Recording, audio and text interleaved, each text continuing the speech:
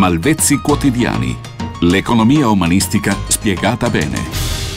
Insisto perché non mi arrendo e non me ne frega niente delle critiche se dico delle cose che non vengono gradite da qualcuno. Io sono qui liberamente, gratuitamente, cercando di dare la mia opinione come opinionista, come economista libero a, a questa rubrica. E quindi vi dico che non esiste nessuna crisi, ma un cambiamento deliberato e pianificato di sistema economico. Se tu decidi di colpire per esempio i redditi agevolati, eh, gli affitti agevolati o concordati sulla casa e aumenti quell'aliquota e vai a colpire i redditi dei piccoli, le piccole cose che funzionano, se tu alzi la pressione fiscale di fatto sui piccoli e sulle microimprese, se tu togli sistemi eh, diciamo agevolativi come flat tax a, a vantaggio dei più piccoli e dei, dei microbi che stanno cercando di sopravvivere, mentre invece i grandi capitali queste cose ce le hanno assolutamente. Se tu vai a combattere il contante raccontandoci che quello serve a combattere la malavita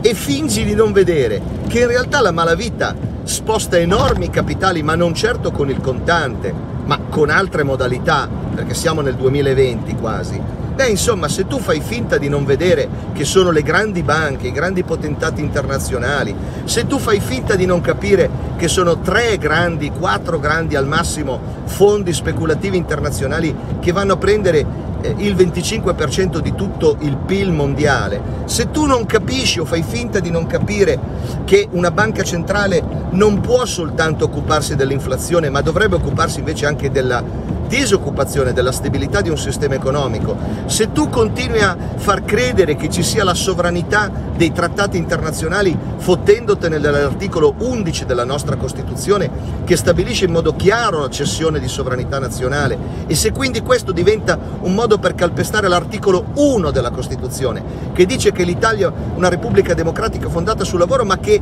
la sovranità appartiene al popolo, al punto che ci sono interi giornali che prendono in giro le persone definendole sovranisti, ma certo è l'articolo 1 della mia Costituzione che dice che noi siamo sovranisti. Lo hanno scritto i grandi costituenti che la sovranità appartiene al popolo. Certo che se tu invece vuoi fare in modo che la sovranità appartenga al potere finanziario internazionale, fai tutte quelle cose di cui ho parlato prima. Crei disoccupazione per mantenere bassa l'inflazione, colpisci la piccola impresa e invece non tocchi la grande impresa, vai a mettere in manette i poverini che non riescono a versare le tasse e consenti poi invece agli assassini di uscire dai carceri coi premi e insomma diventi uno strabico che fa finta di non vedere che è importante tutelare il lavoro e non il grande capitale.